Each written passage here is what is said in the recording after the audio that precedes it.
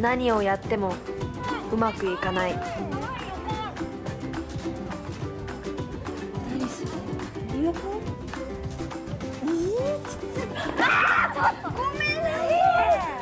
本当嫌なことばっかり。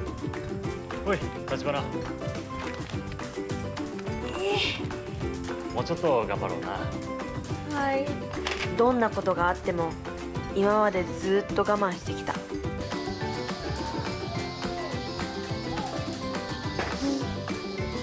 ごめん。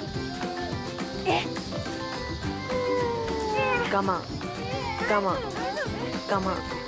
我慢でもこの町に来て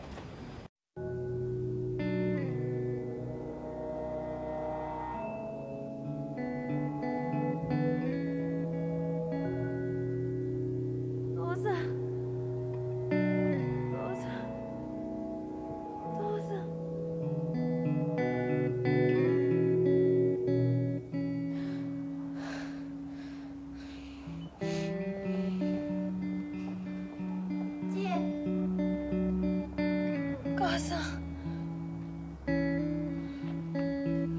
れお父さんがずっと握りしめてたって。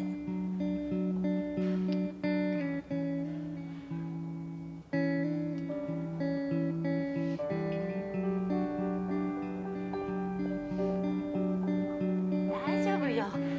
大丈夫だから。大丈夫。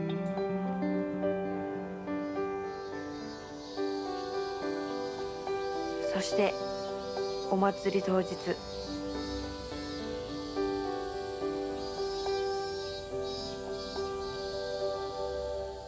よし。